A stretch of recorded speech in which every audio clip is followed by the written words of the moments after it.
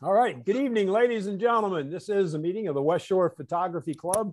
And as you probably already know, it's January the 10th, 2022. Happy New Year. I uh, hope everybody had an enjoyable holidays. Uh, I want to remind you about next week's meeting, January the 17th. We have a unique opportunity to see and hear Freeman Patterson. If you're not familiar with Freeman's work, I recommend you check it out. There's a link in the email that I sent out, and I'll repeat that email uh, at least twice before the meeting.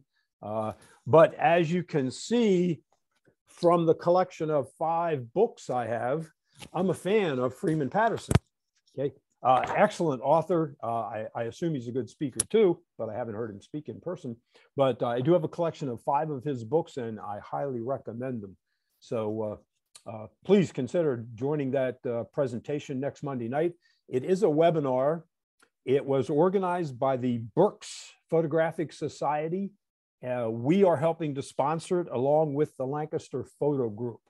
Okay, so uh, no charge to you. The club's picking up the tab on that, uh, but this is a unique opportunity. He's one of these, uh, again, internationally known presenters, authors, workshop sponsor uh, it's one that, that you don't want to miss.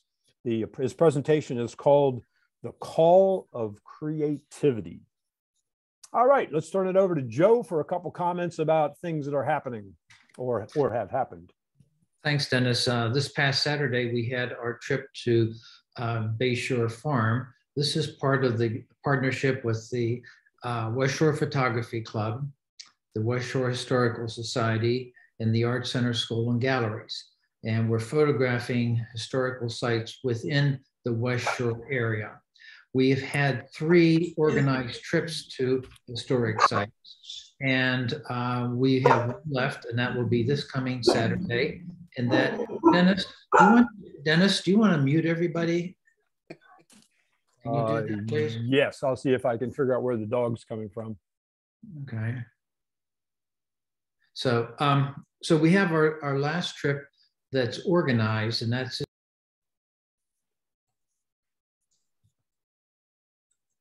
Hey, Joe, I think I just muted you.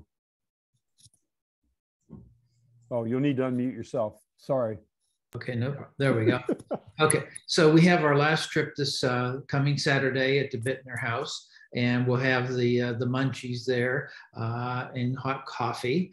And if it's anything like this past Saturday, where we had 27 people uh, total showing up for the uh, the shoot, it, they're a lot of fun. And basically, on Saturday is photographing the historic house, and it should be a short trip. I would guess maybe you'd be there for 30 to 45 minutes, uh, photographing the house. So that's what we're going to be doing, and all that is in preparation for the gallery opening that we're going to be having at the Mechanicsburg Art Center School and Galleries for the month of March. And there you have a deadline, which you're going to get some information on it, uh, to submit some images digital to us. And then we're going to probably be having a little session on how to prepare your prints, because this will be a print that you'll submit to the Art Center, and then they're going to hang it in their professional gallery. And then we're going to have a gallery opening with um, uh, wine and cheese. You can bring your family and friends, and all the images are for sale. And the Art Center School and Galleries will take care of the uh, the paperwork for the for the sale of those. But you're going to get a lot more information on that. And um, so that is about what we have, Dennis. Very good. Very good. Okay. Thanks, Joe. Uh, yeah, let me reinforce that that the, the end product of these trips is to have this month long print exhibit. Uh, many of you will remember the exhibit we had at Hershey Gardens for two years pre pandemic, and that was very well received. We hope to have at least 60 prints, hopefully more, uh, for the, the exhibit. So, as Joe said, it'll be a big uh, opening reception. We're going to have uh, hold a couple of classes. Uh, Janice Links, executive director of the West Shore Historical Society, is going to talk with us one evening about the society. Uh, I'm going to do a presentation, I think, on iPhone photography. Uh, Joe's going to do a presentation on what people around the world, Joe? People around the world, yes. And he's been around the world to photograph people, so he knows, uh, have a lot of good examples. So it should be a, a really neat thing. Uh, I was interviewed for almost a half an hour this evening on the phone by Joe Kress uh, from the Carlisle Sentinel. So he's doing an article. Uh, believe me, Janice is gun ho about this. She is getting people involved. Uh, she's even roping Joe and I into a radio show uh, on a program that we're going to talk about this presentation. So she really is, is hyping it up, and it should be a lot of lot of fun, good exposure. Uh, so I highly encourage you to participate. Shoot with the idea of coming up with two prints. Uh, the ideal thing would be that the, your, your prints would be of one of the historical sites, like the Basehor Barn or the Stamford Bridge Road Bridge that we photographed. But it doesn't have to be. It could be anything. It could be a macro shot of ice or leaf or, or you know anything as long as it's been taken within the boundaries of the West Shore Historical Society. So that's the end result. Think in terms of prints. And Joe and Mike, I think, are going to do, as Joe said, a, a little presentation to help you. If you're not used to printing, uh, some recommendations for you where you can send your uh, file to have it printed, how you want to format it, uh, what aspect ratio you want to consider, you know, all those sorts of things. Okay. All right, let's get on with the show. We have an image review to do. Um, I'm happy to say that Lori Snyder is here with us tonight. She's going to be the reviewer. And our theme, as you already know, probably is night photography. So, uh, Lori, if you have anything you'd like to say in the way of an introduction, you're welcome to do that. But how about if we um, share your screen and make sure we have our images ready to go? And uh, then I'll turn it over to you. As usual, yeah, just a preliminary comment. As usual, what we'll do is Lori will give her critique and then we'll ask the photographer to comment uh, about his or her image.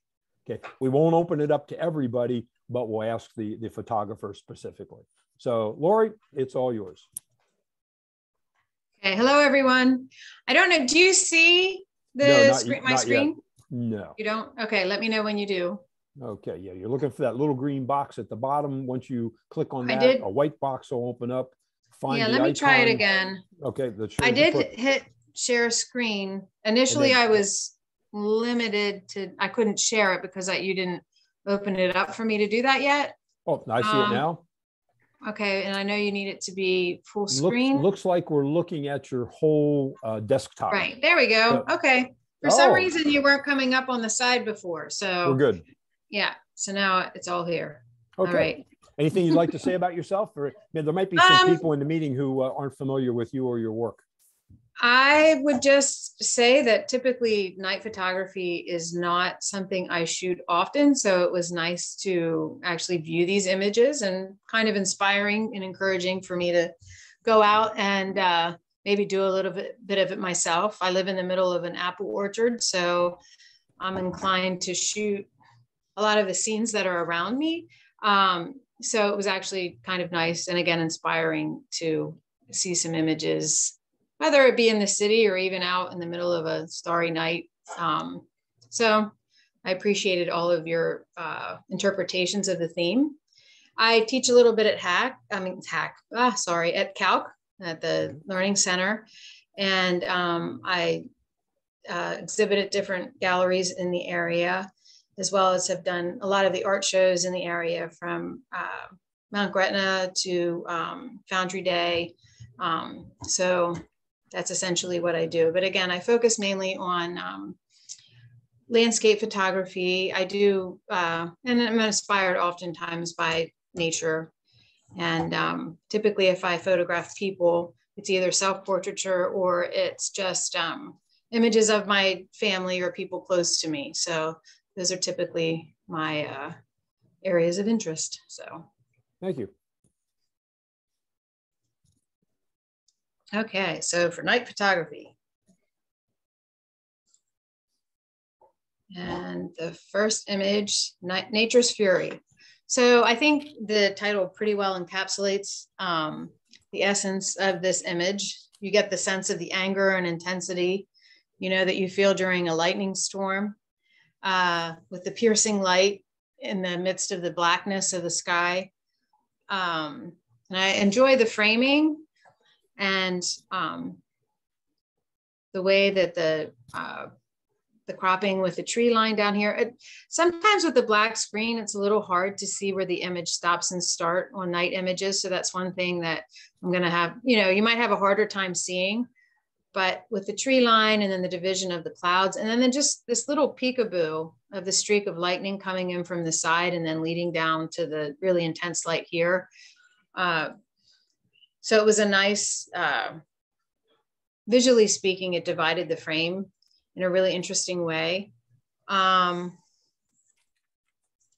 and I like the tonal ranges of the darkness in the trees, as well as some, uh, there's a little, well, the brightness of the lightning, obviously, but then as well, um, just the little hints of the glow and the clouds suggesting, you know, the activity that's going on behind the clouds. Um, and it just overall evokes that sense of awe that you get when you're witnessing a lightning storm. And for the exposure and everything, I would say the lightning, you know, it's definitely technically it's very sharp. The lightning as well as the details in the clouds. Um, let's see. Uh, the only thing that I would suggest possibly is because the, and again, this isn't, um, this is just my personal thought. Um, I like this little peekaboo action over here in the clouds. And part of me maybe wants to see a little bit more over here and get more of a sense of a glow that's happening in the clouds. So I thought that maybe you could bring a little bit more of the interplay of the glow of what's happening behind the scenes. Um, and then down here in the dark shadow area, I couldn't decide if I wanted to see more of what this is. Um, it seems like it's a building of some sort. So I couldn't decide if maybe it's a distraction from what's happening up here, or if it kind of gives a sense, you know, or if you bring it out and you can actually see a little bit more of what it is, if it would kind of give a sense of the scale and the enormity, kind of give a sense of the awesomeness of nature in comparison to the smallness of, um, you know, just human and mankind, humanity and mankind. Um, so I didn't know if I wanted to see this darkened to just kind of fit along the tree line or if I wanted to see detail, but I feel like seeing it a little bit may not work as well for me. So I wanted to go one way or another with it. Um, but then I also thought if you um, if you do lighten it, will compete too much with the center focus of the lightning. So, but that was just kind of my thoughts on that. So. Okay, can we hear from the photographer? You'll have to unmute yourself, please. Yeah, this is Mark Corchado. That's mine. Okay, Mark. And Lori, thank you for your comments. And I struggled with that. That's a house down there. It's the rooftop, and you can just see the chimney on the right side there. And I, I wanted to bring that in for perspective. Right. Like you were saying, if I brought it much too much into play, then you're distracted by it. But yet I wanted to bring in some perspective with the lightning and the tree line. And so I struggled with that too. I, I couldn't figure out what to do with it. And I just kind of made it dark. I knew what it was, but obviously you didn't know what it was. So maybe it should have been a little brighter. Well, I could see it was a roof line, but um, I, I almost don't know if it's probably too dense down there to get a ton of detail to make it worth looking at. You know, I didn't know if maybe it would just be too grainy or have too much uh, aberration if you brought out the detail of it. So, but I do yeah. like the idea of the scale and the enorm, you know, the sense of the enormity of nature against the sky. I mean, yeah. against the the the roof line. Yeah, so. yeah, I definitely wanted it there for scale. I, I, it's a little bit hidden by the trees, but yeah, it was a struggle. Thanks for your comment. Yeah, Mark, sure. any any suggestions for people who are trying to capture lightning? Uh, yeah, be at the right place at the right time. Mm-hmm. uh, uh, just a little technical things here. I just, uh, it was a summer storm a couple years ago. Uh, I just set out uh, my wide angle lens, uh, focus to infinity. I set a 30 second exposure because the lightning was just so hit and miss. And I got lucky and actually got a couple both some other pictures too. So yeah, I just, I set it for the long exposure as I could. Um, without going to bulb or something like that. And uh, yeah, it just turned out well. Okay, and uh, I think like uh, like fireworks, what you'll find is that if you use a small aperture, f11, f16, then the uh, streaks of light will be very thin and well defined. And the larger your aperture comes, the, the broader the strokes appear. Yeah. Well, this was F11, uh, 17 millimeter. Good, thanks. Thank you. okay, let's go to number two. Okay, Christmas at Children's Lake. So for me, you know, uh, Boiling Springs and the lake is a very iconic place, and this is very pict- picturesque with the building and uh, the reflection in it. But I think the first thing that um, I thought when I saw it was just maybe just that it was a little bit too much as much as I enjoy the contrast of the blackness of the sky and the water against the um, the building, I felt like maybe the building was just a little bit too high key for me and just slightly overexposed in the highlight area, and maybe just a little bit too much blackness in the shadow area for the house.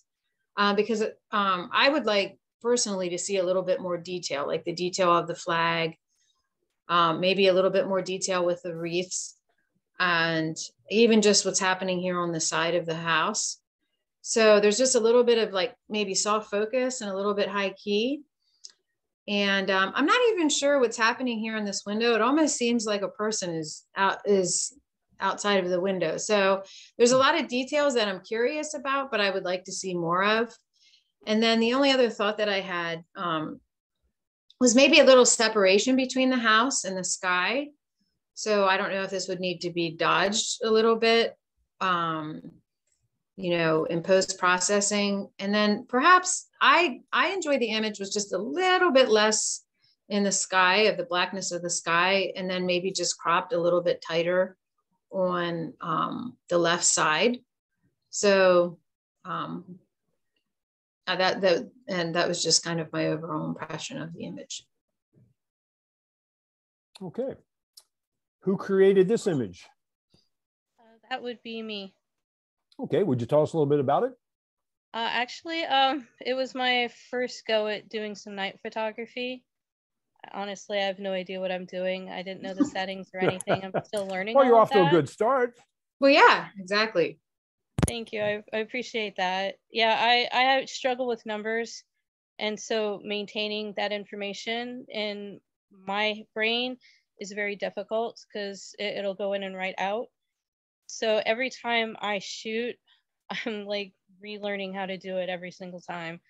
And the moon was out that night, and I'm like, I want to go see if I can get some better pictures of the moon. And I hadn't done the children's lake before. So I just did it. Nobody's ever told me I can't. So I just did. There you go. Do it. Lori, any suggestions for uh, time of day for an image like this? Time of day or night? Um, no, I mean, I would say, I mean, if you want the, the, I think it's challenging. It's kind of like working with sunset or sunrise in a way, because sometimes you can have some really high key areas and a lot of, um, a lot of really dark, non-detailed areas. So I think that could be what part of the challenge is, is just being able to get the detail in both. So a lot of this might require more of a post processing uh, a, a post processing thing where you'd have to maybe burn in your highlights. I don't know if you what your what your programs are if you have if you're working with anything at home or not. Um, but I would say maybe burning in where the highlights are. I mean, you could do it a little bit earlier in the day, so you have a little bit of twilight there, so the sky isn't quite so dark, and then there wouldn't be quite a big difference between the brightness of the building and the darkness of the sky, which would be an op, you know, something to consider if you want to still get the glow of the lights from the house and the the little uh, luminaries.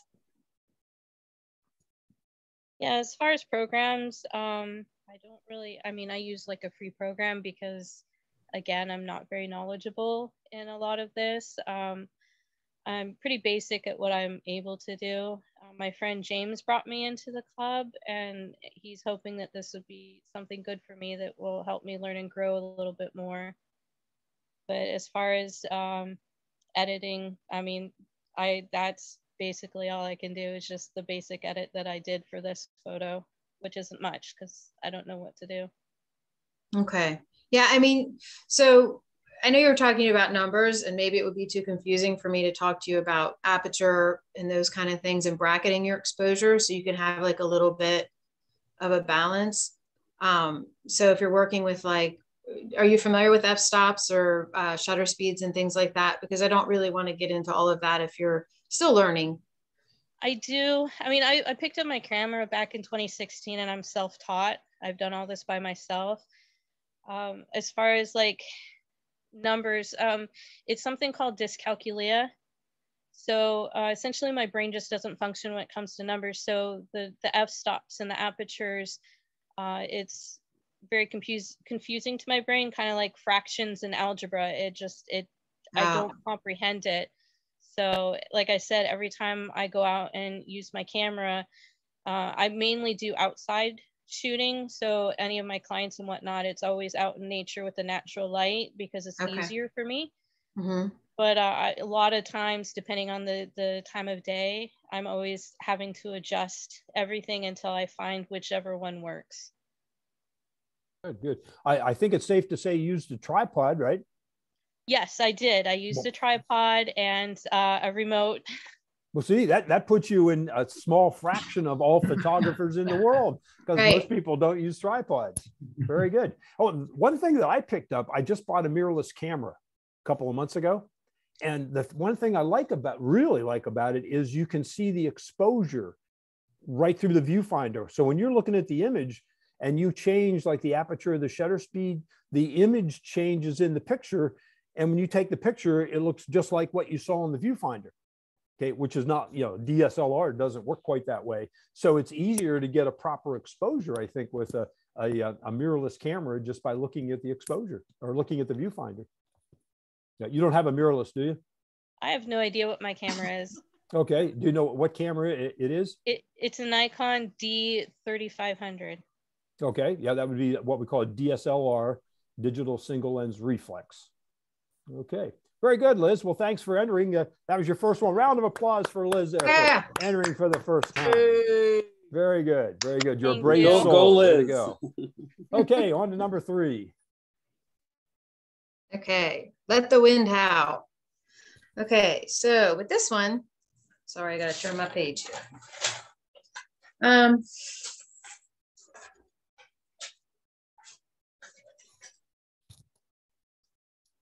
So this is one of those where I feel like um, sometimes a title can either detract from an image or it can lend to an image. So I do feel when I, I didn't really look at the title, but when I looked at this and I just kind of felt like the overall sense of comfort and home um, in initial viewing. And then I looked at the title and I just could get that overall sense of it. Like, um, so whoever did the title on this. I felt like it was a title that worked with your image and didn't detract from it. Um, so, and I do think the framing of it is really nice as far as the leading lines up the stair rail here. And then you can kind of see the glow of the, the door and the light here. And it just kind of takes your eye into the house. And then you kind of look here and you look inside and you I don't know, possibly envision someone sitting in there reading a book. So the ambient light in this is really nice. And I also appreciated the framing with the leaves. So um, let's see. And there's just a sense of calm and um, and it just is a very inviting image and inviting to come inside. Um, the only thing that I would say about this is that you can't really tell it from the screen, but it does extend over here.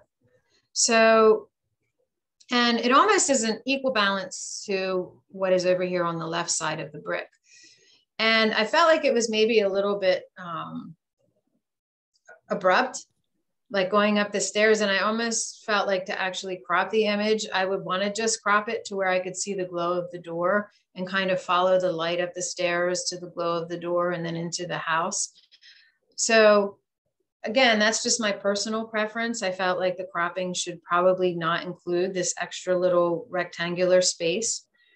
Um, but I do appreciate all the little details I see and the exposure is really nicely done. Um, and I like seeing all the little um, uh, I want to say crevices in the stone, but I know it's called something in the masonry work, but I don't know. I'm trying, I'm, I'm losing what that's called.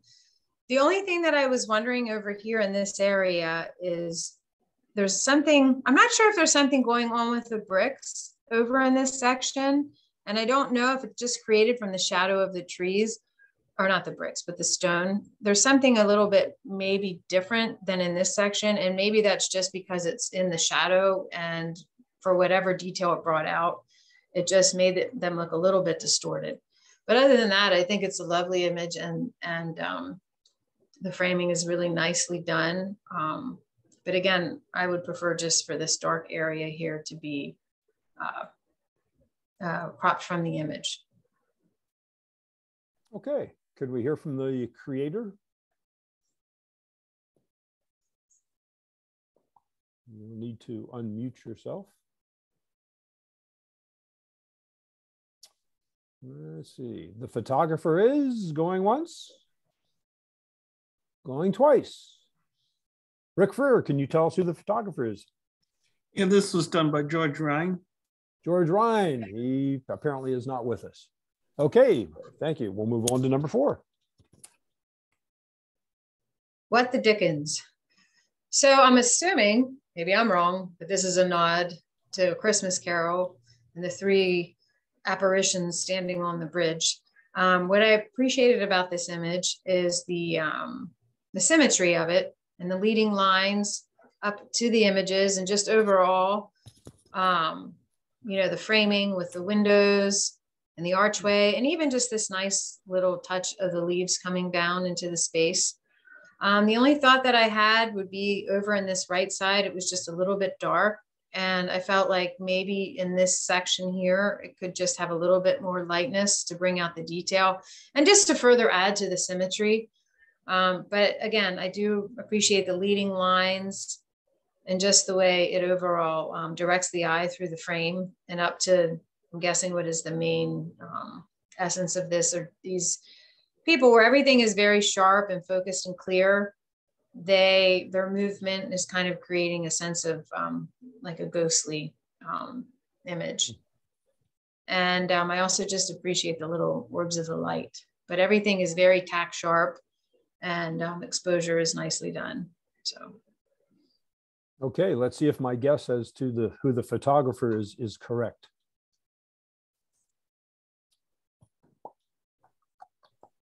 Let's see, you'll need to unmute yourself. No? Oh, goodness. Could we hear from the photographer, please? Rick, who's the photographer? Ron Stefansek. Oh, okay. Okay. I missed my guess. I guess Ron's not with us this evening. Let me check my list here just to make sure. Okay. In alphabetical order. No, he is not. Okay. Thank you, Laura. Let's move on to number five.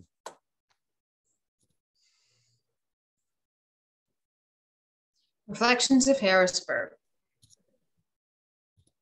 Okay, so immediately I just was, um, you know, you could see the vividness of the color and the city lights, and there's just a lot of energy to the image. Um, there's a really nice leading line with the bridge and into the city, and even over here to the street. Just kind of, um, and then there's just this nice little um, element where there's just um, sense of nature add to all the interruptions of the human element. So I appreciated the framing of keeping um, this tree or bush in the image, as well as a little bit of this little grass patch. And I like that you can see a little detail down here in the grass, which sometimes, you know, I'm sure that there was probably a little post-processing to bring out a little bit of those details. Um, and I like that you can actually see for it being, I'm not sure if this was a twilight image, but I like that you can see, you know, um, a little bit of detail in the clouds in the sky. So that I felt like kind of lent to the image. Um,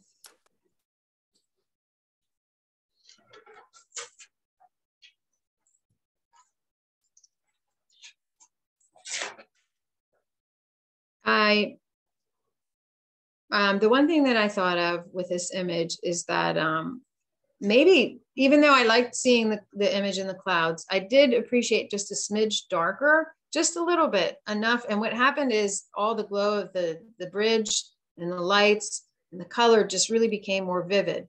But you could st still see the details of the cloud without detracting away from that. And as well, the only other thing that I noticed with this is the bridge kind of goes a little bit downward in the frame and that's you know fine but what i was thinking is in order to bring the bridge really front and center is that i would um i thought to just crop a little bit off of the bush and just take I, I appreciate the introduction of it and the framing of it but i also think maybe just a little less of it would um just really put it on what i feel like the focus and the attention is is the colorful bridge. And then to um and then to correct a little bit of the bridge going downhill when you do the cropping, actually do it at a little bit of an angle so that it brings the bridge at toward the left side up a little bit. And it really just brings the attention directly at the bridge with the line going straight into the city and removes it just a little bit. With this bush over here on the side, because it's so dark, um, it um, can can compete a little bit with what you have going in here. So if you just have it enough to introduce the natural element um, without having it be so heavy on the right, I just think that it um, creates a better cropping for the image itself. But overall, I think the exposure is good. I think it has really nice leading lines and there's just a lot of um, energy to the image. Okay, can we hear from the photographer, please? Yeah, that's me, uh, Jim Breilinger. Thank you for the uh, for the feedback. Uh, I have three versions of this. Uh, was struggling to figure out which one I was going to submit. Uh, I did choose this one, Lori, to to bring out the grass on the bottom, uh, just to add some character to it. So I'm glad you picked up on that. I see what you're saying about cropping out that bush a little bit to the right. It does kind of dominate the picture a little bit. So I'll go back and do that.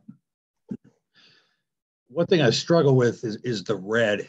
I'm not sure if you can see that in the first two, you know, red lights underneath the bridge to the right. There is not as much detail in there as, as there is for the blue. Uh, so any suggestions on editing red? I don't, um, ooh, I'm sorry. I'm giving things away. Sorry. I'm trying to like see in at the details a little bit more. And I don't know if it's, you seem to have a lot of details, but I don't, so you feel like it has to do with the red. That I'm actually not, I don't know. Does anybody, Dennis, is that something that you? Yeah, I have an idea. Uh, Jimmy, you working with Lightroom? Yeah, Lightroom. Yep. Yeah. What you could try is go into the HSL panel and use the targeted adjustment tool to go over and click on a red area when you have the saturation tab uh, active and okay. just click and drag down to desaturate just the reds a little bit and see if that brings out more detail you know in the image or you could play around with luminosity too but you know, drag up and down with those two, experiment a little bit and see if you get more of what you're looking for.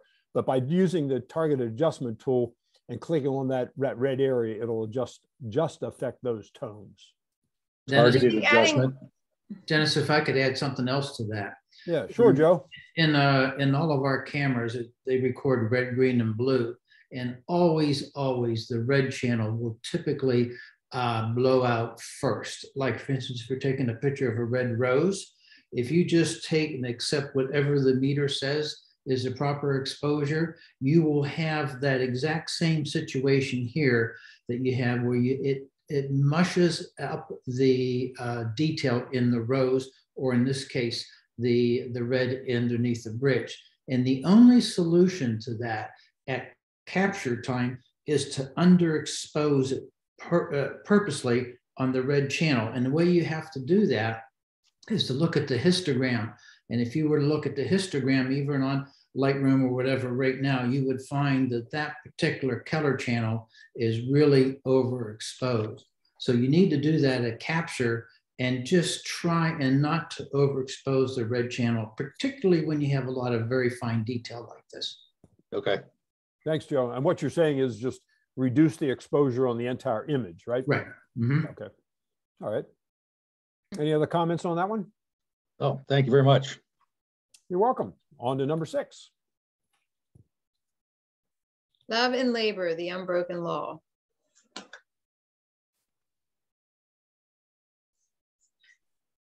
So I was, I looked this up because I was curious as to where this was, and then it looks like it's at possibly the Capitol in Harrisburg. Could be wrong. Um, so I think what's nice about shooting this at night is there's, um, you know, the shadow shadowing in the background, and then this is like highlighted. So you kind of have a separation of the foreground with the background. Um, it's kind of documentary in style um, because it um, is cropped into the specific artwork. And I do like uh, seeing the way that this is cropped here, though, because it feels, you know, you give it definitely lends to a sense of I, um, the subjects just hanging on the ledge here and just being, you know, to the point where they're going over or off the ledge. Um, I think photographing artwork can be tricky because I feel like sometimes maybe you want to not only just photograph the artwork, but you also want to maybe photograph your impression of the artwork. So there could be nuanced things that you could do to this as far as um, maybe bringing in a little bit more shadow in the detail area and or a little bit more contrast. I mean, for instance, around the sinews of the muscles, and just really creating like a dynamic, energetic image that maybe brings it to life a little bit more um, and creates maybe your interpretation of their artwork.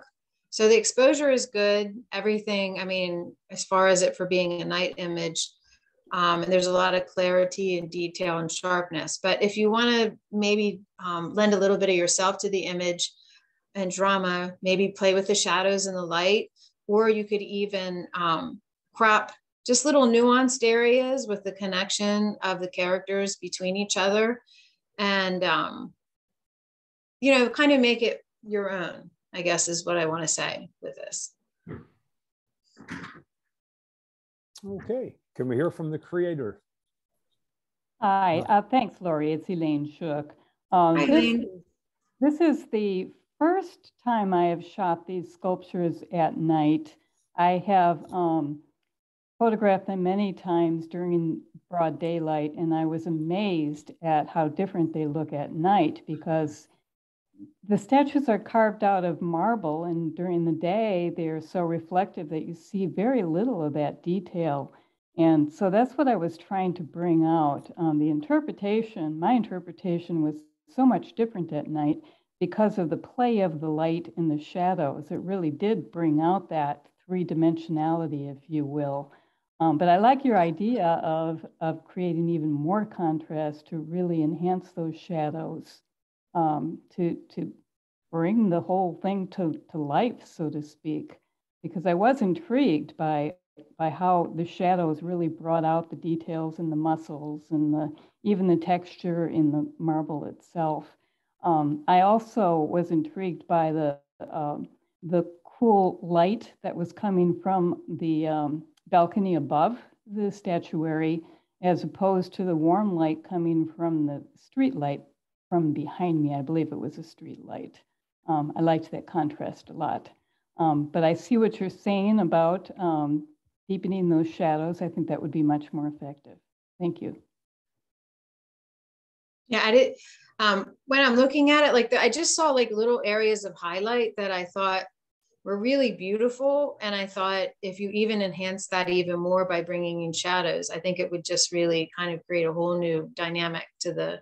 But I agree with what you're saying because when I looked it up, it says really vivid white sculptures right in front of the Capitol. So your, your comment, Elaine, about the, the lighting is interesting because as I look at it more closely now, I see how, how cool the tones are on the left as compared to the right. mhm. Yeah, and there's a little bit of warmth in this section and a little blue over here, and then a little bit more of a gray in this area. So it is interesting. I did try it in black and white, but without that contrast in tonality, it just didn't seem to be as impressive to me. Yeah. Okay, on to number seven. Holiday scene. So I like what I like about this with the framing is I like the offset of the tree in the foreground with all the um, the pine trees in the background and that it's a different tree, which offsets it from the rest of the trees. And I also really, what I really like is the webbing of the limbs and the tree, the lights strung within them. I think that's a really interesting part of the image. Um, um, my thought was though, um, for the background to be maybe slightly, in general, just for the overall image to just be slightly more dark so that it would separate this tree a little bit more from the background and really make that the focal point.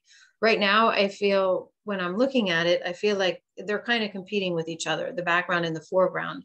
And what happens is if you make it just slightly darker, it'll really make the lights pop and separate as well as separate all the veinings and the limbs while still keeping that really nice glow that the image has, the warmth from all the um, ambient light. And um, the only other thing that I thought was a bit of a distraction to the image was just these this um, post over here.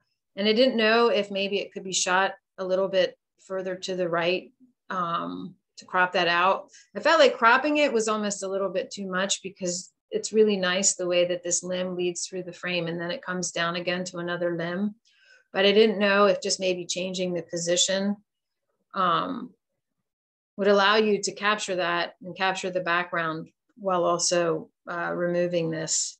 I'm sorry, did I say to move to the right? I meant move to the left a little bit so that you're um, focusing more um, to the right of the image. So, um, but overall, I like the warmth and um, this tree, the way that it's off centered in the frame. Okay, comments from the photographer. Um, this is Judy Kime. Uh, that is my photograph. And I went out to shoot the photographs of the moon and the holiday lights. And actually, it's interesting you say you'd like it a little darker because I did lighten it up so that you could see the, the mountains a little bit better. So that that's a very interesting uh, comment. And definitely I could have moved. So that's it. That's um, I thank you for your comments. I went out one morning. Um, this was taken in the morning, about 6:37 in the morning, and um, I'm not really that proficient in low light photography, so I was pretty happy with what I got. Actually, to, no, to you have a lot right. You have a lot of detail in the light in the areas. Yeah, I agree. And I was interested to hear what you say because there are a lot of things going on. I like the image, but I was interested to hear if people thought it was too much, you know, with the, the background and the foreground. So, but yeah, I could definitely darken it um, to get that contrast. Well, so it's interesting that you said that they were mountains. And in my ignorance, I thought that maybe it was a building with snow on the roof. So apparently, I did not even realize it was mountains. So I could see why you would lighten it to want to see that detail. But if I'm being honest, there's a lot, so many things to look at with the trees. I almost feel like the mountains are incidental, I guess is probably the, I don't know. I mean, that's just my own personal um, thought when I look at it because I, unfortunately, I didn't realize they were mountains. So, um, so does that make sense? And it doesn't even have to be darkened a whole lot, just a little bit creates like a really nice separation. But then I feel bad because you're losing your mountains. So. well, it, this is in Breckenridge, Colorado, actually, that it was taken. And oh, okay. People were looking at this photograph uh, they, you know, from Breckenridge, they would know that those were mountains. okay. mountains. So, you know, it depends on the audience too. but um, I did actually lighten it and was not sure what I should have done. So it's interesting to hear the comments. So I appreciate that. Thank you. You're welcome. Okay, number eight. Okay, into the light.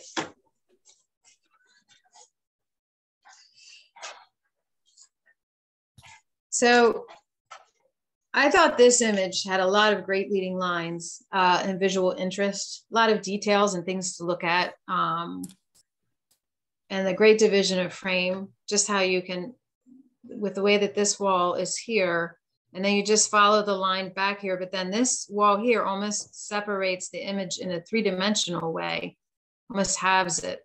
And then there's the second half of the image but I just really appreciate there's so much to take in.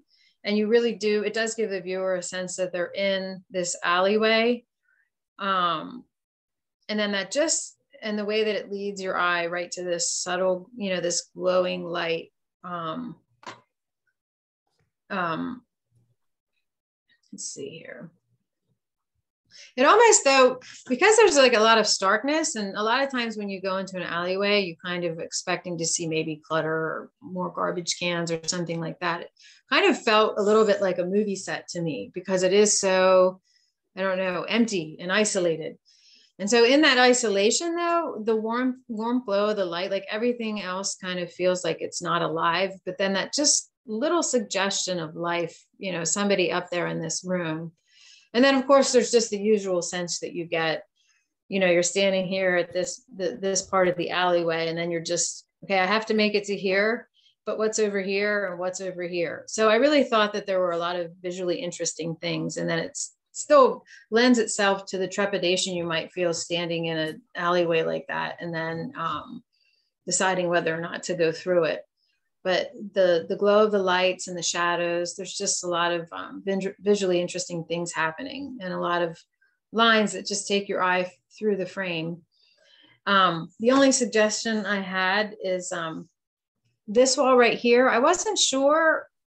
Sometimes when i look at it it gave the illusion and i'm not sure if it was because it's um, in contrast with the bush but sometimes when I look at it, it felt like it was leaning back. And I don't know if that was just like a distortion from the lens on a wide angle, or if it was just because this is so different from all the straight lines that maybe um, it just creates a sense that maybe it's leaning back a little bit. Um, and the only other thing too, I thought would be fun to play with would be to do it in black and white and really kind of play with the contrast and the light and really create a sense of drama with black and white I just think it would be fun to see it that way, but then you'll lose, you could lose the glow of the yellow unless you kept that there. So, um, and the only other thing um, I thought is maybe just make the darkers just a hair, the dark colors just a hair darker and really pop the difference between the light areas and um, the dark areas. Not enough to lose the detail, but just um, enough to make a little bit um, just the more of a contrast between the two. But again, I don't think those are make or break it things or necessary things. They're just ways to maybe make it look a little different and um, change the feel of the image. So. Okay, let's hear from the creator.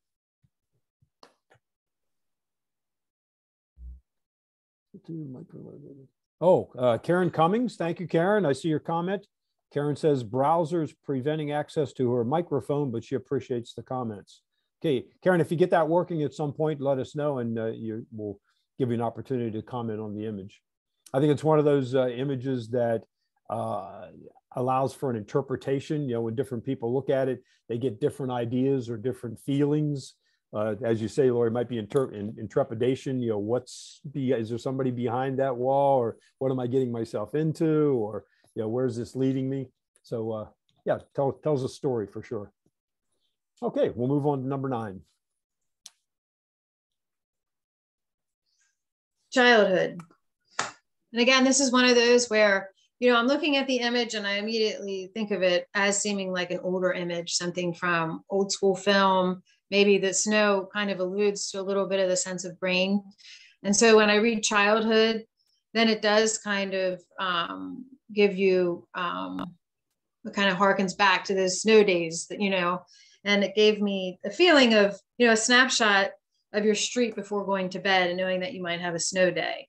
So that's the, I guess, the feel that I had from the image. And I like, I really appreciate the tonal range with the grays and the, um, you know, the softness of the snow coming down and just that sense that you're in like a small town, you know, where you have the mailbox and a line on the street and it's just stacking up as the snow comes down. And um, I just think it really portrays that overall feel for what that's like. And having kids of my own now and seeing them, even though they're teenagers, they still really look forward to a snow day. So you just kind of get that sense. And I lived in a little town, and this is what it would look like to me. I think if I looked out when I was younger and just kind of see, you know, the snowfall and just the way that it would feel you know and it just has a very and then it also just has the quiet sense of what snow you know kind of how snow when it when it lays on the on the on the ground how just everything just becomes quiet and um, kind of abandoned feeling in a little uh, in a way. So um, i would say the only thing that i wasn't sure about is this tree over here. But then again with that sense of looking into a scene this could kind of um, visually be a part of it, like peering around the tree, but it could also be a bit of a distraction. So I don't know if you'd want to remove that altogether because cropping it might be a little bit tight with the um, telephone post. And then maybe just a little bit more detail in some of the shadow, but for the most part, I really appreciate the highlights um, and then the way that the lights just light the street throughout, you know, down the road um, and the way that the road kind of takes your eye through the image along with the lights. So hmm. it gives it a nice sense of depth. Mm-hmm. Okay, can we hear from the photographer? Um, that's mine, Mike Donovan. Hmm. And that is the feeling that I wanted, and that's why I called it childhood because it it makes me think of when I was a kid every time I look at it. All the excitement of thinking that it's late at night, but we can still sled. Um, the other thing that I was, the reason that I put it in was that I fought with those street lights for a long, long time until I finally just gave up and said, let's see how it goes in the review, if they're bothersome or not bothersome. Um, I tried cloning, I tried dropping the highlights, putting detail back in the highlights, but sometimes you just can't beat it and you got to make it part of the image. So so that's what I did. I gave up on it because I like the rest of it. Mm-hmm. Yeah, for me it works in this. I mean, I know that what you're saying, but I, that orb it kind of has like a yeah, just the way that it the glow. I don't know. For me, it works, and you know, the snow kind of gives it a little bit of a softening. So. Okay, thank you. Okay, number 10. Yep. Yeah. I don't know. I kind of want to. Can I move this little thing at the top? Are you guys seeing? Yes, we see your cursor. The, oh, we see your yeah. cursor. I just want to move it so you can see the top of the image, but um,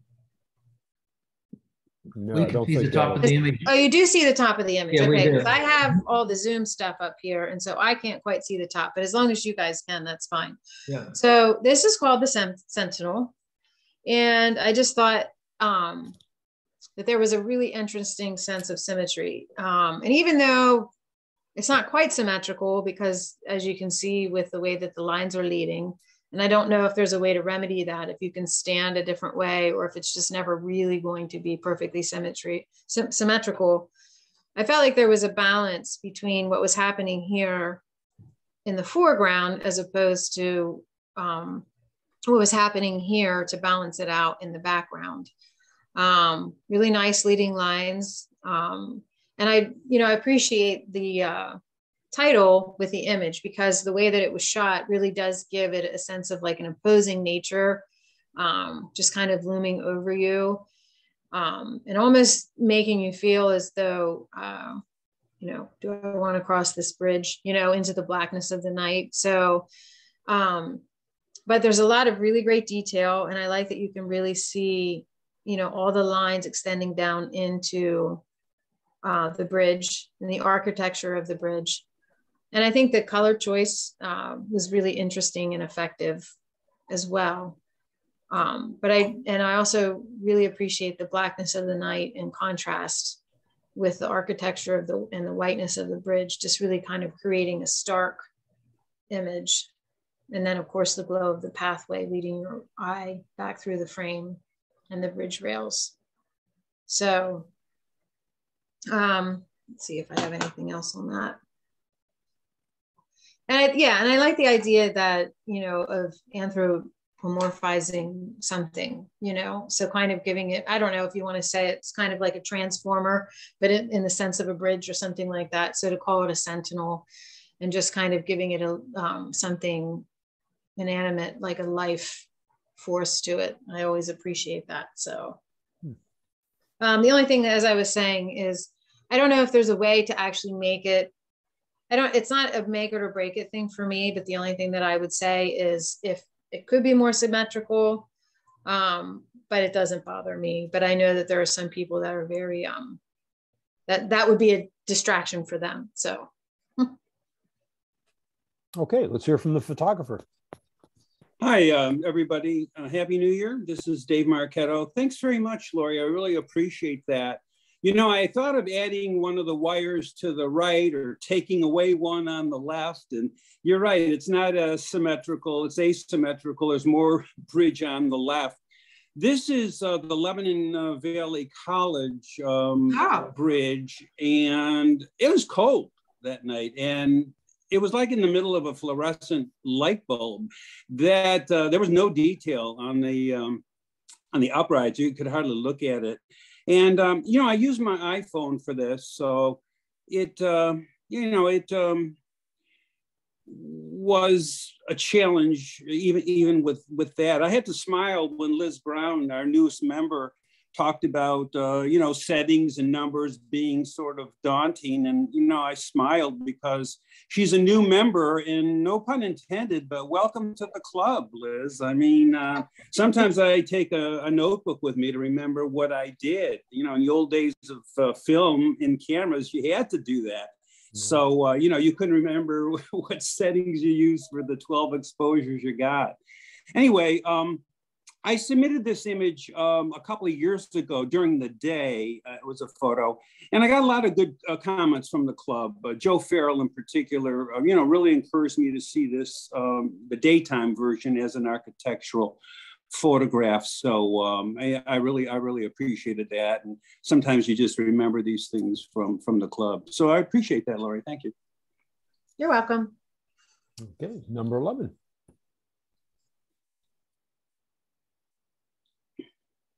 Bubble Man. So if I'm being honest, I had to like go away from this one and then come back to it because it's just so different as far as um you know try how to assess it i guess is the way you know so i was thinking okay how am i going to assess this image um but it kind of reminds me of uh like you know when so so I'm not sure what every what's going on here exactly. To um, I don't know if this is more post processing or if it's a marriage of both um, in camera and and post processing. But down in this area here, it just kind of reminds me of like residual grilled cheese or something like that. so then it lent. Um, so I definitely see this as being more from a whimsical and humorous point of view, and then also from a creative point of view um, it just kind of reminded me of when people say that they see an image burnt, you know, an image of something on burnt toast or something like that.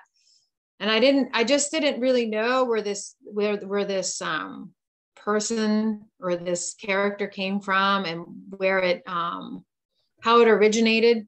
But again, this to me, it's called Bubble Man, but I thought this was interesting what was happening here. And it just kind of reminds me of cheese, burnt cheese on a grill. Um, but I really appreciate the fact that it is just kind of fun and lends a sense of humor. And then also there's just like a motion, a movement created with them. I don't know, basically, are they hula hooping or going into a time warp or something like that? But uh, so I just appreciate the creative intent behind this, whether it's, you know, in camera or post processing. I didn't, I was really basically, I think it's a conversation piece. And um, it just really makes you think like, what is happening, you know, in this image. And I didn't know if these were maybe glow bracelets, but it also reminds me of when um, people do um, painting with light. So whoever the photographer is in this, I guess I have a lot of questions to see what is behind this image. Yeah, I'm curious. I'm sorry, I don't know. Maybe that's not how I'm supposed to. Maybe that's not how I'm supposed to uh, assess it. But I'm right there with you, Lori. Let, us hear the story. Who who created this one? This is mine, Terry Longenecker. All right, this, tell us about it. This was uh, taken a couple years ago uh, I was in, I'm in the Hershey Camera Club and we did a night, um, night shots with um, fluorescent lights. The starburst in the back, what looks like a starburst, is a single LED tube of light. The gentleman standing in the center is swirling um, two colors of red and white around him. Um, he's also got another color thing in his one hand. So after I took the shot, I thought, eh, that's I, I need to do something to it. So I ran it through uh, ACDSee a program and I put bubble wrap on it. And that's oh. how I got the bubble man. uh, that that night I didn't get as good a shot as I wanted, but I have other shots I probably could have put in we used um, a whisk, a, a, whisk that you would use to whisk up food. We put, um, uh, can't think of it now. We stuffed it with metal. Um, Steel wool. Thank yeah, you. Right. Thank you. Steel wool. I always draw a blank on that. We lit it and then swirled it. Right.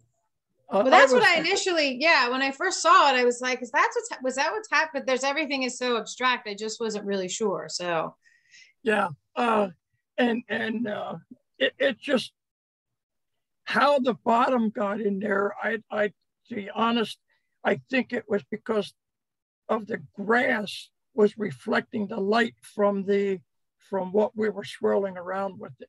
It was it was a fun night. It's I love to do light painting it, it's just amazing what you can mm-hmm. do. Thank you for your comments. It's I I I wanted to see what people would think. I've never shown it to anyone before, but thank you. Well, you, you get bonus points for creative approach. Yeah, and for stumping the stumping the reviewer. thank you. Okay, let's see what number 12 has to bring. Okay, 9-11 tribute. Um, so overall for a night image, uh, I think this is really well done. Um, there's a lot of sharpness and detail um, with it. And, and I just, the way that it's framed, um, when you, when you consider the rule of thirds, the right perpendicular line here just divides right between um, the memorial lights, just goes right through it. And then this light going down into water is nice because it kind of is a mirror, but on the opposite side of the image, but going down to the water, which kind of breaks up the water and creates, just creates um, movement from, um, from the foreground up into the background. Um, and then I also found this streak. Well, I really appreciated the um, the water, which I know happens when you have like a slower exposure, but the water just really seems placid and peaceful. And the gradated sky, the way that it's just like this nice blue and then it um, kind of fades into a darker blue. Um, I wasn't sure what caused the streak though. I was curious about the streak and how it actually originated. And I just didn't know if it was from the movement of the water from a long exposure. And then the only thing that I notice and the distraction for me on this side is just this little break in the water. And I don't know if that was naturally occurring But then I noticed that it seems to almost have a little bit of a line going in here through here. And so I don't know if somehow something became uneven in the water and broke that line. Um, but overall, I think it's nicely done. Um, and, and, it really follows the rule of thirds nicely. Um, and the clarity again for an evening uh, night image and just even the way that this light is kind of starred um, is really nice. So. Okay, let's hear from the photographer. Okay, if you're on board, you'll need to unmute yourself. Uh, Rick, who did this one? Chris Mama. Okay. Who was that again, Rick? Chris Mama. Hmm, not familiar. Okay. Is the photographer on board? Going once, going twice? Okay, on to number 13. Okay, Dubai uh, traffic. So this image was really fascinating to me. And when I first look at it, it just reminds me of um, like almost the mechanisms of a clock when you look at it with all the circles and the patterns. Um, this is a really nice leading line leading into it. Um, the sharpness of detail and the exposure for for evening and then even back into these buildings i almost feel like if i if i blew this up it would you could just see into the office building so i was really fascinated by how much detail for an evening image this has um, but it's just a maze that i feel there's so many lines that you could just follow it all the way around through the image um, and I also thought this was really fascinating because as highways and cities are, you can see where the traffic is really flowing like mad. And then right here, you see a little slowing down of the cars and the vehicles, which is oftentimes what happens. You're going 70 and then everybody's going 30. But I just think you could just really take this image in for a really long time. Um, and again, it's just really nice with the framing of the buildings, this little bridge going from the um, along the line in the back. Um, and it just, I even appreciate, it kind of has a futuristic feel to it, especially with the golden glow of it. And when I think of Dubai, I kind of think of gold anyway, just from what I've, what I've read about it. Um, that it's pretty wealthy area. Um, the only other thing, the one thing that I wasn't sure of was just this little triangle here. I'm not sure it's a deal breaker for me because in this corner, it also, see if I can move you guys over here a little bit. There's just a little bit of darkness up here. Um, but I just wasn't sure if this was like a little bit of an abruptness um, and cut it off. But I was so um, focused on the center part of the image that I, it was kind of an afterthought thought that I looked over here. So seeing this blown up, maybe it might be more distracting to me, but I just really, because of the way this road led in and just all the things that you could look at, this was kind of an afterthought for me to cap, um, to take in. So, but overall, all, I just thought it was a super interesting image. So. Okay, let's hear from the photographer. Uh, thank you, Lori. This is Joe Farrell, and that's a shot from Dubai. That's the uh, city center, they call it. And uh, we were on a hotel, I think it was about like the 16th floor, to be able to, uh, to capture that shot.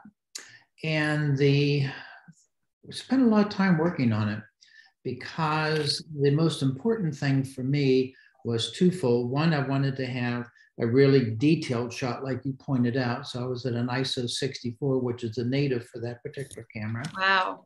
And then I, the shutter speed was really critical because I had took many shots at different shutter speeds to get the right flow of the uh, cars without blowing them out.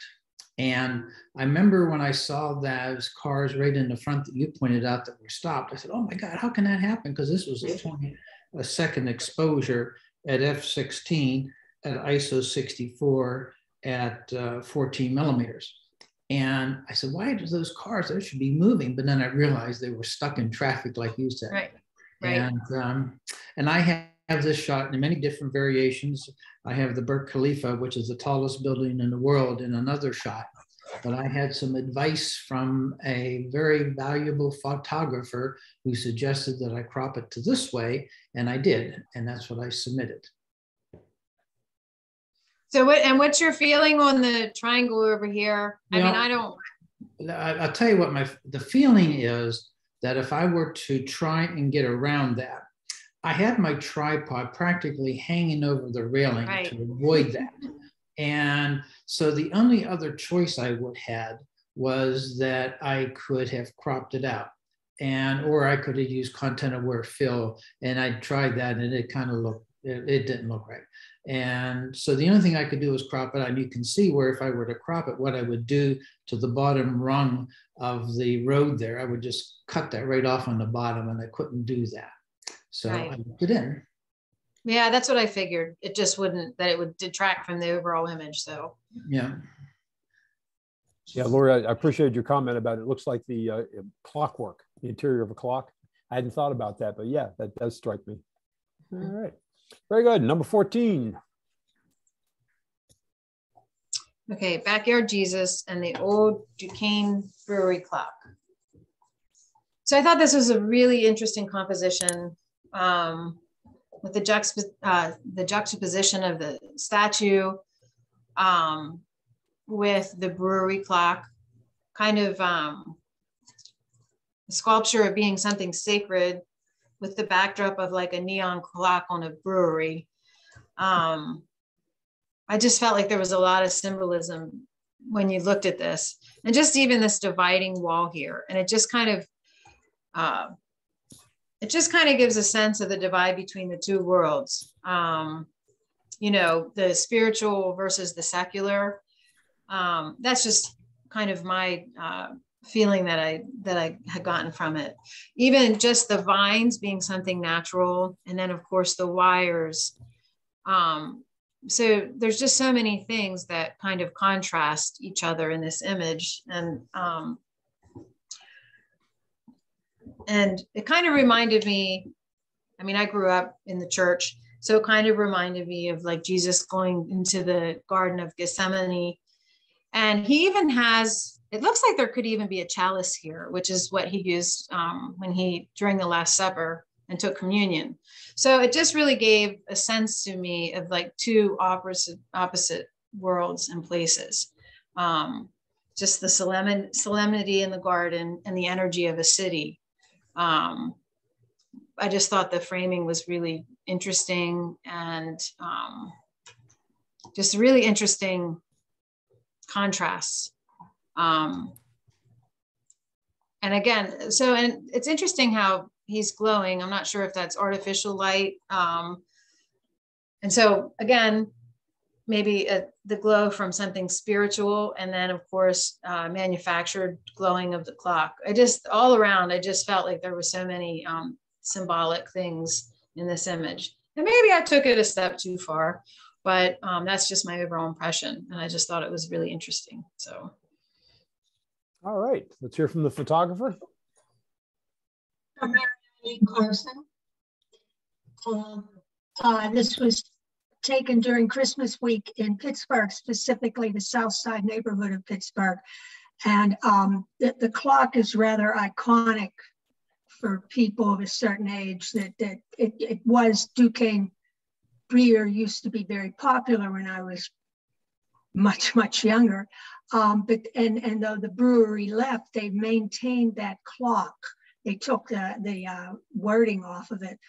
And we were also, this was, my family got together for Christmas by going to, we, what we did was an Airbnb that happened to be an old convent. So it was a good way for us to um, Wow.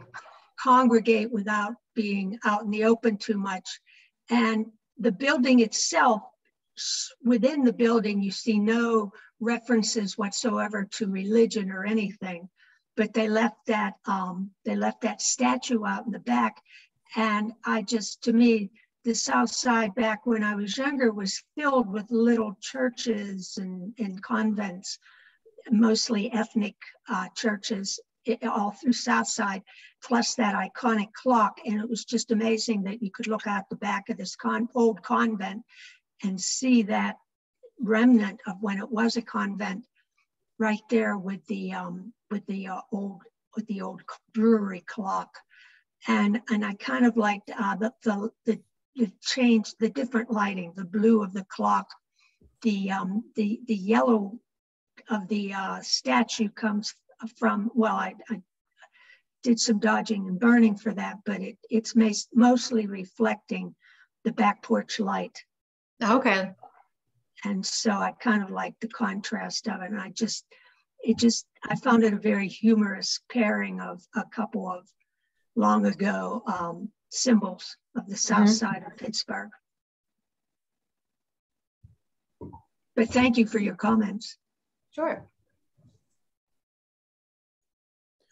Okay, number 15.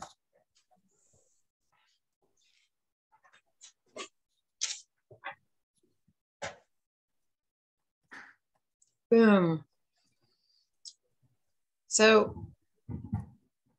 this is a really crisp, uh, a lot of clarity for an image of uh, fireworks. And it looks like it has, I would say, a pretty um, small aperture opening. It's just very detailed and minimalistic. And I really, what I like about it is the straightness of the lines for the fireworks leading up here, but then that just that little subtlety of the one beneath it bending off to the left just adds so much to the image.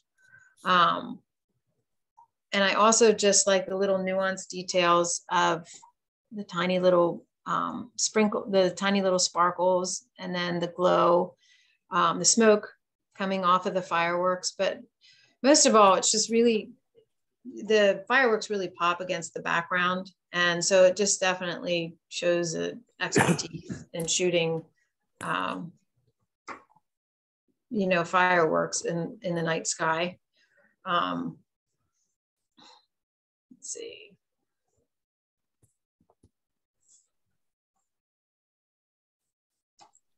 Yeah, I just, in general, it's just a very um, minimal but um, striking image. So. Okay, let's hear from the photographer, please. Yeah, this is Mark Albano. Um, yeah, uh, Lori, th thanks, thanks for your comments. Um, this was shot, uh, Dennis, to your point, it was shot at F-13. Um, I was quite a distance away um, so it was shot, so it'd probably be 250, 300 millimeters. Um, and uh, shutter release, shot for about seven seconds. Um, what I was finding, I was taking a lot of these pictures, Lori. And what I was finding was I was keeping my thumb on the shutter too long. And I was, and they started to get very busy. And I started making a little quicker exposures, just letting two or three of them blast off and then closing the shutter. But I've got a couple of questions, and and the one of the questions is, is I have quite a few shots that actually show where the um, where the fireworks were coming from off the ground. And would that have made a picture like this too busy? In your opinion? I, I mean, it would, it's hard to know without seeing it. I don't know. Do you get a lot of extra uh, glare from it? I mean, I really just like the simplicity of this um, okay. and the division of the frame. I mean, I just, I, mean, my thing is always to see it. That's kind of, but I, I mean, I just really appreciate the the way that you framed it. I mean, it kind of reminds me of, you know, um, it kind of reminds me of like dandelions or um, Hmm. you know just the simplicity the simplistic nature of that and it yeah. kind of harkens to nature so i really appreciate the way that you did this um i don't think it would necessarily be bad but i just have to see it and make a comparison. Did you feel like it was too bright or too distracting? Um in some cases i thought it was too big it, it got too busy. You know and um and, and the other challenge too is like you said there's a you, you can see a little bit of the the smoke and the flaring off. And so, you know, I, I kept going, should I block all that out or should I just block out most of it? Because it's a totally different look when you see the, the smoke and the sparks, spark right. trails coming off the projections. So thank you for your Yeah, I think it was just enough, not, yeah, not too much, not too little. So thank you. Yeah, I'd like everyone to, to take note of the uh, white digital border that Mark added uh, notice how it uh, delineates the image, the boundaries. where in the other ones, if you had a dark image, you, know, you couldn't tell, as Lori said earlier, couldn't tell where the image stopped and the, the uh, background started. Mark, would you comment about how you created that digital frame? Yeah, um, what I did, I used, um, I did an Affinity Photo, which is like Photoshop, but you can also do it in On1. And what I did is I brought it in, I made a filled layer that was white, put it to the back of it, and then I resized the picture to be 20 pixels shorter on both the width and the height and then centered in, in the uh, frame. And that was all I did. Well, thanks, thanks. Yeah, I know Elaine and Judy do that quite frequently with the pictures they post on, on Facebook, and it's a nice little accent. So when you're entering a picture into a competition or an image review, you'll want to keep in mind that the background is black. Uh, so think about how that will affect your image and maybe consider uh, adding a digital frame. Okay, six, Yes, Lori. Just real quick. So that's what I was wondering. I was trying to look to see on on that program if there was a way to change the background, just specific for this. I know sometimes people like, you know, using the black background because mm-hmm. it just presents the images nicer. But for like a nighttime thing, I was wondering if there was a way. I, I don't use this one, this program really. So I was trying to change the background ahead of time so people could see that. But Let's see, and that would be the Zoom background, right? It, it's not the PDF. Well, because I have it in full frame for Adobe, for the Adobe Illustrator or whatever oh, I was oh, told to view the let, Let me ask in. Rick. Rick, can you change the background for the PDF, the background color? Um, I created in the um, the, the PowerPoint, which is uh, uh it sets the whole document as a, a black background, but yeah, you can change that. Yeah, if you want to go to a medium gray, maybe try that uh, the next time, see how that works out. We can try it. Yeah. Yeah. Yeah. Let's yeah. Do I don't think you would need it for everything, but just with it being night images, I just, yeah, I was trying to change it just so that you could see where the borders were a little bit for the blackness. So okay. thank you. Yeah. Good idea, Lori. All right. Number 16.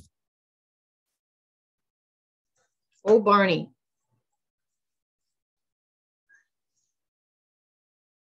So I thought that this was a really nice composition. Uh, the way that it has a very soft glow to it, emanating from the uh, from the um, lighthouse. It just feels very painterly. Um, and I also thought it was really nice the way that the with the division of the image, the way that the shoreline kind of separated the uh, reflection and carried it um, down through the image. Um, it just has an overall really inviting quality to it. And the sky back here is just really, um, just the softness of the sky. And you just kind of get a sense of, you know, it being that twilight. I'm guessing it's twilight. Um, and the color is just is really nice with the blues and the gold, uh, the yellow of the, the lighthouse. And it just has a very um, peaceful feel about it. Uh, the only thing that I considered with this is maybe just to have a little less glow emanating from the, the lighthouse. It just felt like because everything else feels really soft and inviting, maybe if there was just a, a just a smidgen of less glare here, it would just blend the image even more and um, just kind of create even more of a softness. And I don't know what's creating that light. I'm just assuming that there's a, uh, a really bright light down here in the um, behind the trees that's kind of creating it. But I didn't know if there was a way to just make that just a smidge, um, just a smidge darker but I like that you can even see this tiny little window up here. So you have the detail, but then you also have softness, which I think really makes it an interesting image because a lot of times when you have the softness, you don't necessarily see clarity in the detail. So I think that's a really nice um, combination. Um, the only other thing I thought is maybe just a little bit less of the sky and possibly um, cropped a little bit to the left. But overall, I think it's a really nice composition. Okay, let's hear from the photographer, please. Thank, thank you. This is uh, mine. This is Chris. Uh, I appreciate your comments. Um, um, This was taken uh, on uh, New Year's Eve. I decided to take a, a day trip, road trip down to Long Beach Island and kind of scout the area because I'd never been down there. And it was a pretty miserable day. Um, and this, uh, by the time I reached the lighthouse, um, it was it was kind of late. It was, and even the twilight dog walkers were leaving the area. Uh, so I just, I wasn't even thinking about bringing my camera from my car out to here. So I didn't. But then when I saw that the tide was coming in and I got that reflection, I said, I have to go back to my car and, and grab my camera because if I come back here again, I might not have that reflection, you know?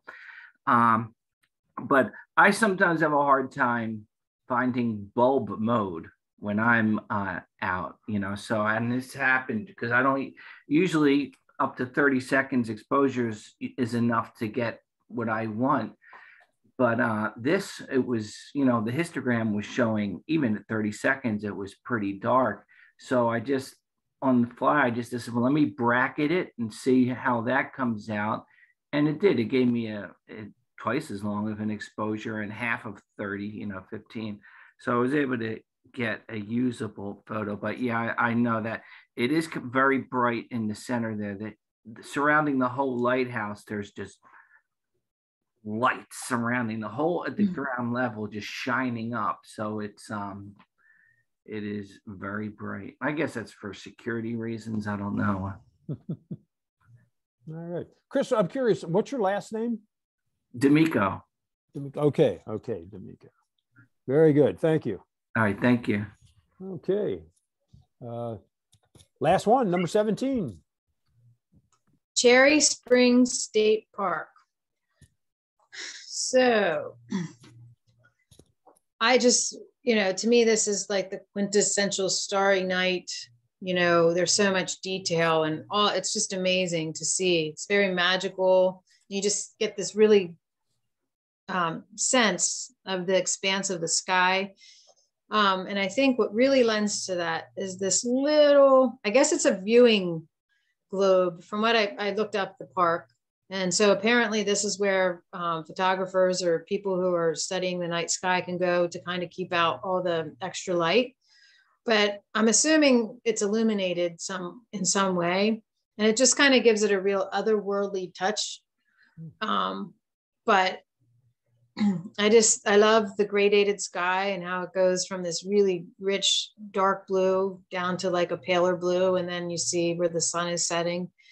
Um, and again, it just gives you a sense of how small we are in the universe. And I really appreciated this line of the really tall tree, kind of this diagonal going and leading your eye down to this open space where this observation place is. Um, let's see. And I just, there's a lot of clarity for a night image. Um, I know sometimes it'd be interesting to see movement and with the, stars as well, but I just love all the little pinpoints of light. Um, the only thing that I maybe wanted to see, which I know would be hard because the sky gets darker up here, but just maybe a slight bit of detail in this upper tree to kind of mimic seeing some of the light here. But then I don't know if that you can accomplish that without creating kind of a halo effect um, you know, from from dodging out too much of the sky. So I didn't know if it would be possible to get just a little bit more detail here or maybe even just here. But overall, I just think um, it's just a really um, fascinating and um, awesome, you know, rendering of an evening sky. And just, I mean, all of those star points is amazing. From what I understand from reading it, it's um, a place a lot of people go to observe the night sky because there's really a lot of limited um, uh, light noise in that area. So well done. Okay, the photographer. Hi, that's me, Cami Freed.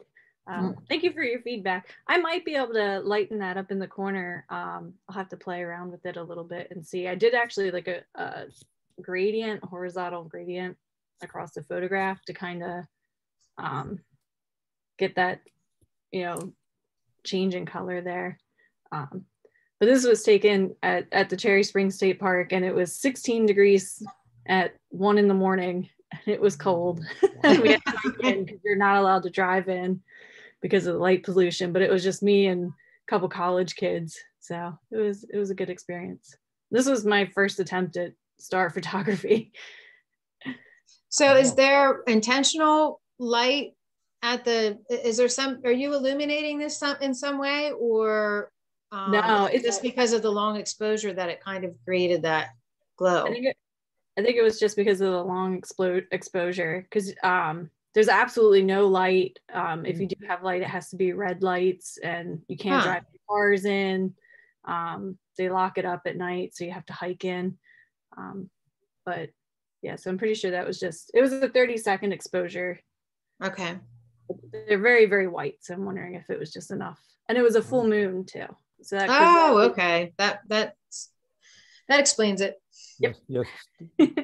yeah, pretty much does. Full moon. I was wondering too, but uh, yeah, Yeah, I'm thank you surprised you, got uh, uh, that shot on a full moon, and and the fact that it didn't put any more light on the trees, but they they absorbed it, I guess. Okay, okay. Uh, any uh, comments or questions from anyone for specifically for Lori? Okay, Uh, Laura, I think you did a great job. Uh, we'll, we'll give people a chance here if they if they do have a question or comment. You did a great job. I appreciate it very much. How about a, a round of applause? You can unmute yourself if you like, but thank you very much. Uh, another shot at that. Any uh, questions or comments from anyone for Lori? Lori, uh, all of us at the West Shore Photography Club, thank you for doing this tonight. It was it was an outstanding review. We really appreciated it. Yeah, we Uh, appreciate the welcome. fact that you do your research too, and you put a lot of time and effort into it. So it's much appreciated. Very, very thoughtful um, analysis, Lori. Um, you know, it's uh, it's great to have you look at these. Um, you know, we really appreciate your your your styles. It's very nice. Oh, thank you. Very good. Okay, before we end the meeting tonight, I would like to recognize one of our members, uh, Dave Stauffer. Would you like to say anything? Uh, Dave's on the mend, so it's good to see him tonight. Yep, I'm, I'm mending. Uh, that's about all I can say. Well, we're glad to hear it. It, it was, it's, it's, it's going to be a long process. They told me six weeks before I can really do that much. Oh, So, uh, you, you can get on Zoom meetings. Yep, All yep, right. yep. This doesn't take lifting anything or whatever. So Wish it, wishing you well, Dave. Very Thank good. you. Yeah, take Yes. care of yourself. Best Yes, wishes. Wishing you well. Yes. Take care, Okay, Dave. guys, thanks for Thanks. participating tonight. Right. Uh, we hope to see you at the Bittner House on Saturday, Saturday morning, 10 o'clock. That email went out this morning. It'll go out again on Friday morning. And then, of course, next Monday night, January the 17th, is the Freeman Patterson. Oh, and that, by the way, starts at 7:30, not 7 o'clock. That meeting will be 7:30 because I didn't set it up, but it'll be at 7:30. Okay, thank you and good night. Thank you. Have a good night. Thanks, Lori. Thanks, Lori. Thanks.